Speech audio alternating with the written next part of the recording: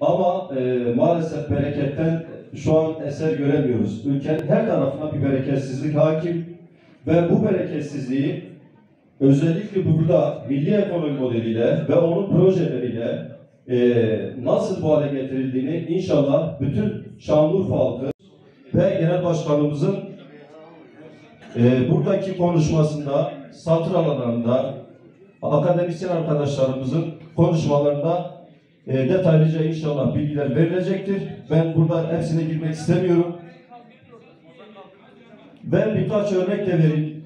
Bağımsız Türkiye Partisi'nin 18. ayında bütün çiftçilerimize elektrik ücretsiz verilecektir. Bu bir. İkincisi 5 yıl boyunca tohum, mazot, gübre ücretsiz bir şekilde çiftçilerimize verilecektir. Ve çiftçilerimiz güçlensin, kendine gelsin, borçlarından kurtulsun ve e, Türkiye ekonomisine katkıda bulunsunlar. Üretim yapılsın. Onun dışında farklı sistemlerde, farklı programlarla Türkiye'nin yükselişini, çiftçilerin e, kazanmasını bekleyemezsiniz ve mümkün değildir. Tek çözüm Bağımsız Türkiye Partisi'dir. Hüseyin Başbey'dir ve milli ekonomi modelidir. Salonda bulunan tüm misafirlerimize ve ekranların karşısında bizleri izleyen tüm halkımıza Bağımsız Türkiye Partisi çatısı altında buluşmaya davet ediyor ve saygılarımı sunuyorum. Kim çözecek? Bunu mutlaka araştırmamız lazım.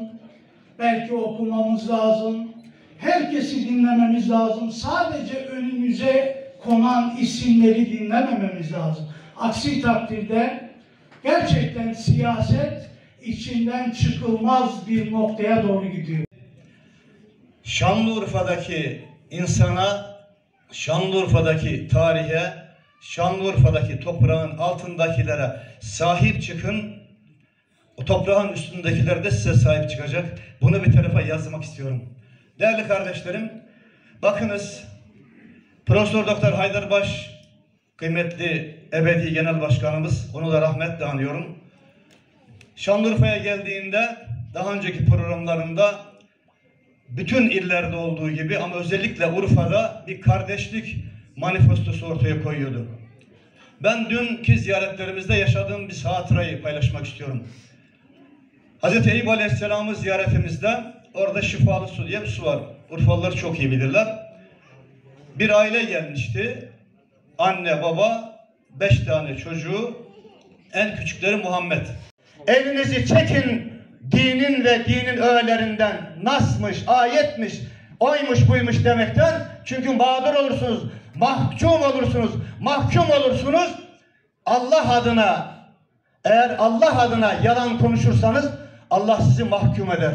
Böyle bir zilletten de Cenab-ı Hak bu milleti muhafaza eylesin. Saygılar sunuyorum. Kongrenizin hayırlara vesile olmasını diliyor. Teşekkür ediyorum. binden fazla Suriyeli göçmen var. Şimdi buna çözüm getirmek lazım. Onlar niye geldiği tartışmıyor. Finlandiya alırken 150 tane adam almış, hepsini akademisyen almış. Seçmiş almış. Profesörleri almış, onu bunu almış. Biz ise hiç sorgulamadan alıyoruz. Biz çözüm partisiz, bunların çözümü var. Bir cümleyle geçelim. Çözüm çok net. İsrail'le görüşüldüğü kadar dostluk ilişkileri kurulduğu kadar Suriye ile Esad'la oturalım. Diyelim ki Sayın Esad sen yanlış yaptı, ben yanlış yaptım. Eteğimizdeki taşları dökelim. Karşılıklı bir heyet kuralım. 500 bin Urfa için söylüyorum. Bunları ülkenize tekrar alın ama bir garanti verin. İncitmeyeceksiniz. Biz size yardımcı olacağız desek. İsrail'le yapmış olduğumuz bu ilişkiyi kurmak istediğimiz Amerika ile Avrupa ile kurmak istediğimiz ilişkinin onda birini Esad'la masaya oturarak yapmış olsaydık Türkiye'de 5 milyon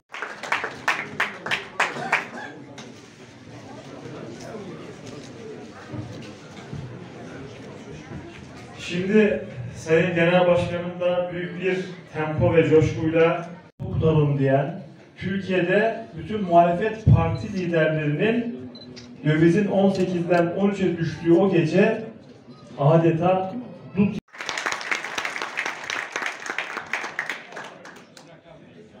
Evet, nasılsınız?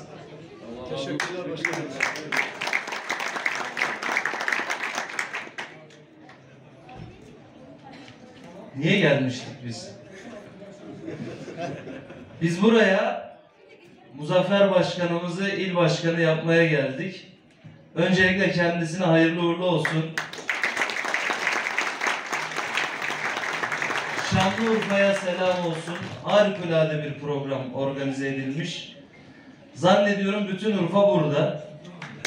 Urfa'ya da bu yakışırdı. Her şeyden önce aramıza katılan diğer tüm siyasi parti temsilcilerine hoş geldin diyoruz. Hepsi şeref verdiler. Ayaklarınıza sağlık. HDP Urfa İl Başkanlığı çelenk yollamışlar. Kendilerine de çok teşekkür ediyoruz. Sağ olsunlar. Yani zannediyorum Türkiye'nin ihtiyacı olan birlik, beraberlik ve kardeşlik fotoğrafı bugün burada hayat buluyor. Bu genç kardeşiniz için en büyük şereftir, en büyük mutluluktur. Evet, bu ülkede sen ocusun bucusun diyerek, sen şundansın bundansın diyerek bizi ayrıştırdılar ve bizi düşmanlaştırdılar. Halbuki ben üniversitede sizin çocuklarınızla beraber okudum İstanbul'da. Hepsiyle birbirimize kanka diyordum. Ben askerliğimi bizim koğuş 60 kişiydi. Mübalağa etmiyorum. Herhalde 30-35 kişi Urfalıydı. İçeride bir Trabzonlu ben. Mardinlimiz vardı, Diyarbakırlımız vardı. Harika bir askerlik geçirdik. Askere giderken babam dedi ki o için hani insanoğlu rızkını arıyor sağda solda ve dolayısıyla bir türlü yerleşik bir hayata geçemiyor. Buğdayın bulunması insanoğlunun ilk tarım devrimi diye bahsedilir. İnsanoğlunun yerleşik hayata geçtiği ilk zamanlar. Şimdi bu ilk nerede oluyor? Urfa'da oluyor. Yani insanlığın, medeniyetin beşiğindeyiz. Medeniyetin doğduğu yerdeyiz. Birlikte yaşamanın, kardeşçe yaşamanın doğduğu yerdeyiz. Böyle bir bölge burası. Tabi buğdayın nasıl bir özelliği var? Buğday dünyanın hemen hemen her yerinde yetişen bir şey. Bütün olumsuz koşullara rağmen yetiştirilebiliyor bu ürün. Ama öyle bir noktaya geldi ki bizim ülkemiz, dünyada ilk defa buğdayın dünya tarihinde yetiştirildiği Urfa'dan ve dünyanın her yerinde yetiştirilen Urfa'dan biz şu anda ülke olarak buğday ithal eder hale geldik. Yani şunu söylemek istiyorum. Yemin ediyorum size sadece Göbekli Tepe ile ben bütün Güneydoğu Anadolu'nun karnını doyururum. Bak yemin ediyorum. Bunu söylerken diyeceksiniz ki ya ama sen de abartıyorsun. Bakın ben dünyanın hemen hemen her yerini gezdim. Yunanistan'a gittim mesela. Atina'da antik kentler vardır. Yunanistan'ın benim en çok dikkatimi çeken, çeken özelliğini söyleyeyim size. Ya Yunanistan'da geziyoruz, dükkana gireceğiz. Açık dükkan yok.